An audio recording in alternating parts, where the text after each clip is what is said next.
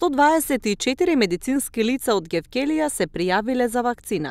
За вакцинацијата против COVID-19 од Гевгелиската општа болница досега се пријавиле половината од вкупно 250 лица што го сочинуваат медицинскиот персонал и лекарите. Веќе е подготвен тимот за вакцинирање кој ќе го спроведува вакцинирањето за граѓаните од регионот.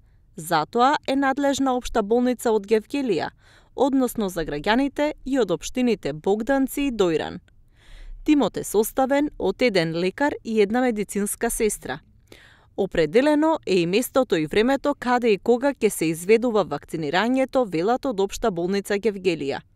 Со пристигнувањето на првата пратка вакцини преку Министерството за здравство, се очекува да се стави во функција вакциналниот тим – Пријавените граѓани ќе се вакцинираат во чекалната пред Центарот за диабетес.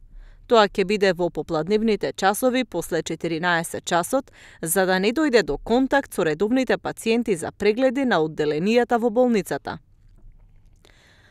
До сега на ниво на држава биле пријавени 4000 здравствени работници.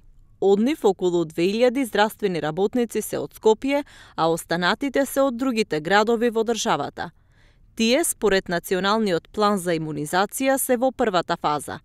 Потоа следуваат постари возрастни лица со висок ризик да развијат болест, компликации и смртен исход, дефинирани со ризик врз основа на возраст, лица постари од 70 години и на крај сите останати заинтересирани за вакцинација.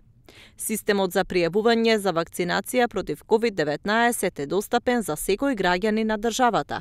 Пријавувањето е по електронски пат преку апликацијата vaccini.mk, каде што граѓаните можат да се пријават за вакцинација.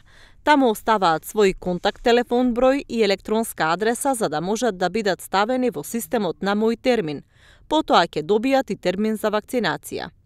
Инаку, од утре започнува вакцинацијата против COVID-19 од првата пратка на вакцините од Pfizer, што Србија ги одвои за здравствените работници од Скопје, која ќе се спроведува во модуларната болница во Скопскиот клинички центар.